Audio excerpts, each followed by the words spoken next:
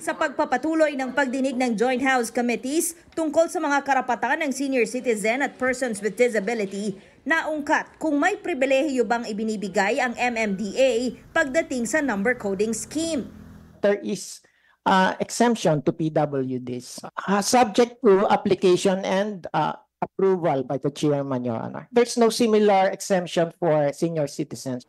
Hirit ng ilang kongresista, isama na rin sana sa mga pwedeng kumuha ng exemption ang mga nakatatanda. Kasi kung minsan tinatakbo ka sa ospital o magpapa-check up ka, yun lang ang sasakyan mo. Kaya sinabi ko kay kay uh, Chairman Cantes, basta as long na may nakasakay na senior citizen sa sasakyan, kung pwedeng color coding exempt na lang. Nagpaalala naman si Albay Representative Joey Salceda sa mga establishmento na dapat may diskwento rin ang mga senior citizen at PWD sa parking fee.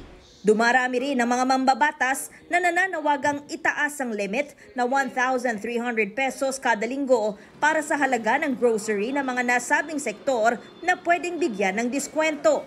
Para sa Philippine Retailers Association, dapat maging malinaw na magiging tax deductible ang mga ibinibigay na discount sa seniors at PWDs.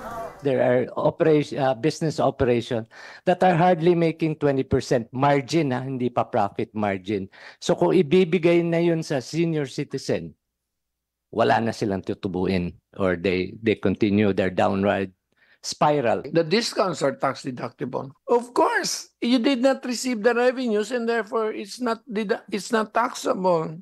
Inalmahan naman ng isang grupo ng maliliit na botika ang panukalang tanggalin ang purchase booklet bilang requirement sa mga senior at PWD na magpapadiskwento sa biniling gamot.